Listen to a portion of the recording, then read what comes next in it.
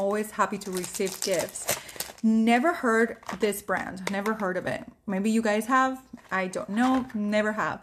But it's funny because I don't know how many of um, ladies do perfume on their hair. I'm one of them. I love having perfume um, smell on it.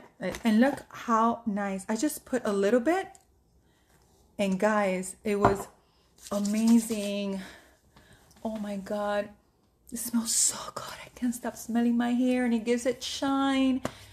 And now it smells so good. If you have used this before and you have great comments about it, please do share.